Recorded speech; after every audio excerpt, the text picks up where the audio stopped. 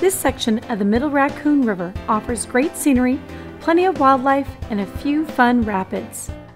The trip begins at Lenon Mill Access, which offers gravel parking, a concrete access ramp, campground, and bathrooms.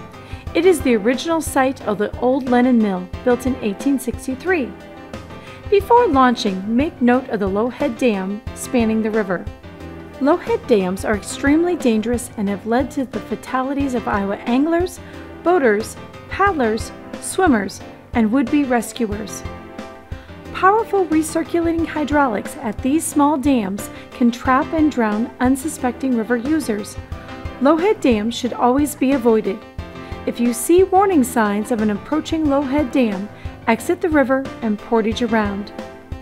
Setting in at Lenon Mill is a safe launch point below the dam.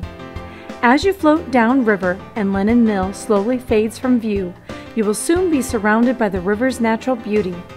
This section of the river is very scenic with little development and agricultural land. It has lots of wildlife and mature trees including silver maple, cottonwood, and sycamore. Belted kingfishers and even osprey have been seen along this section of the river. A screeching red-tailed hawk or the tapping of a woodpecker are common sounds you may hear.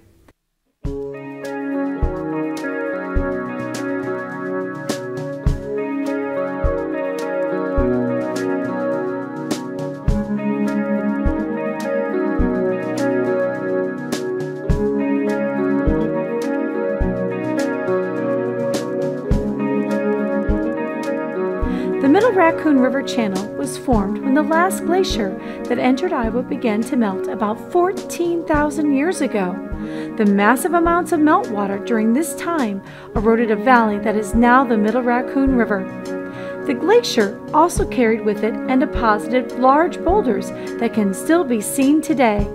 During optimal flow, these rocks and boulders can form fun and sometimes challenging rapids. The rapids are Class 1 and safe for all experience levels.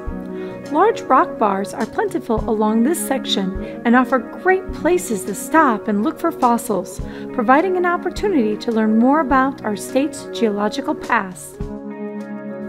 After about five miles, you will approach the Middle Raccoon River access on River Left. This access and bridge is a little past the halfway point of the trip. Keep paddling another four miles and you'll reach Cowles Access. The access will be on your right and offers a concrete ramp and gravel parking. Take out here. We hope you've enjoyed your trip along this section of the Middle Raccoon River. Hi, I'm Heidi, naturalist with Polk County Conservation. We teach hundreds of people how to paddle each year, and we always begin with the most important lesson, safety.